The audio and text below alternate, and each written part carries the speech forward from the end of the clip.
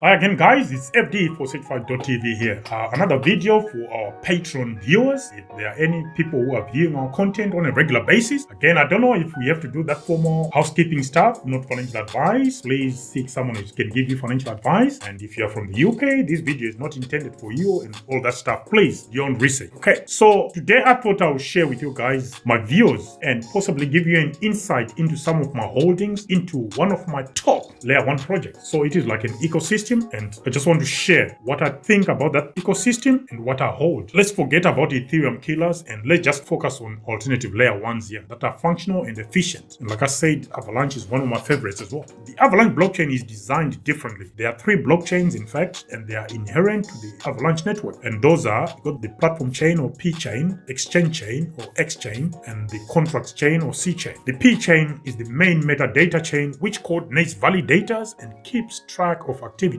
while the X-Chain is the exchange chain which acts as a decentralized platform for creating new assets, exchanging and trading of digital assets and cross-chain subnet transfers. So if you are swapping things on Trader Joe uh, or Pangolin, you're most likely using the X-Chain. While the C-Chain is the contract chain, which is the default smart contract chain on Avalanche, which enables the creation of any Ethereum compatible smart contracts. So those are the three blockchains that make up the Avalanche network. Avalanche enables the launching of decentralized applications and enterprise blockchain services. With Avalanche, developers can create new custom blockchains called subnets. I think most of you know that. And subnets rely on a subset of Avalanche's existing validator set for network security. Subnets are sovereign networks within the Avalanche ecosystem, each with its own tokenomics, roles, and validators. Each subnet is independent of the others, and the Avalanche primary network, especially subnet consisting of the P-chain, X-chain, and C-chain. Furthermore, each subnet can establish its own regulatory compliance measures such as or AML checks or the requirement to be located within a certain jurisdiction.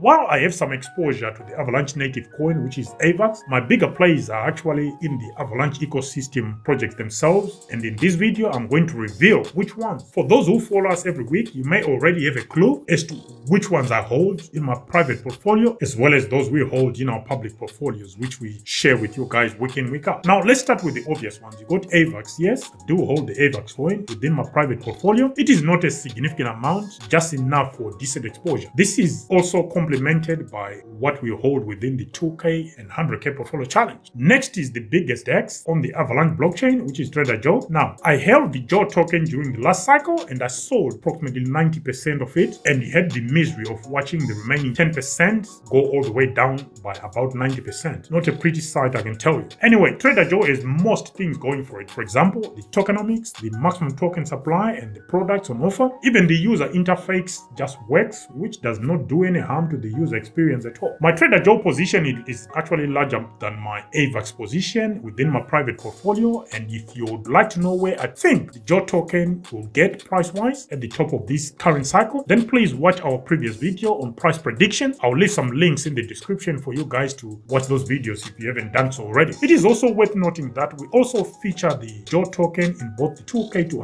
100K portfolio challenge as well as the 15k to 600k crypto portfolio challenge. Next on the list is another DEX on Avalanche and this one is Pangolin and this PNG token. This one is a small portion of my Avalanche bag and I don't see that changing anytime soon. Next we have BEAM, formerly Merit Circle, which is a gaming project that is moved to Avalanche as a subnet. As with others featured in this video, I do hold BEAM within my private portfolio and this one also features within the 15k to 600k crypto public portfolio that we share with our community every week. I have high expectations for this one and will not be surprised to see this one actually grow into possibly the largest bag I hold within the Avalanche ecosystem. That's how much faith I have in BEAM, But time will be the judge of that. We then have Benqi, which is a DeFi and Web3 protocol that offers lending, borrowing, and liquid staking services and boasts well over 80,000 users. Users can stake AVAX and earn within the DeFi ecosystem. The platform also allows users to lend, borrow, and earn with various cryptocurrencies. I held this one during the last